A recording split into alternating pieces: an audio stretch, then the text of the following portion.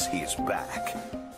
This was quite a homecoming in New York when a soldier surprises his daughter at school after he was deployed for 14 months in South Korea.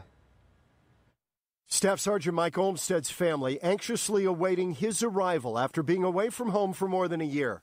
His wife Katie and daughter Robin run into his arms as soon as he walks off the plane. I saw the skyline, I started tearing up, and as soon as I saw these two, I'm is uh, it, words can't describe it. Olmstead, an Army police officer, was stationed in South Korea amid concerns over North Korea's possession of nuclear weapons. He's kind of police and he's a desk sergeant. But Staff Sergeant Olmstead still has one more mission to complete surprising his youngest daughter, Chloe, at school. She doesn't think I'd come home until next uh, week, next week sometime.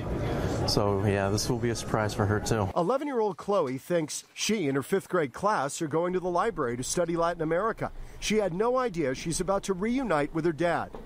With the school staff waiting on pins and needles, Chloe's father sneaks up on her.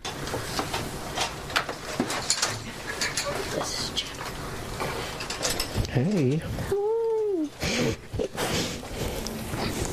Oh my God, look at you. Yeah, I was like, who's this? And then I looked at him the second time and I noticed it was my dad. I was really happy because I haven't seen him in a long time, so.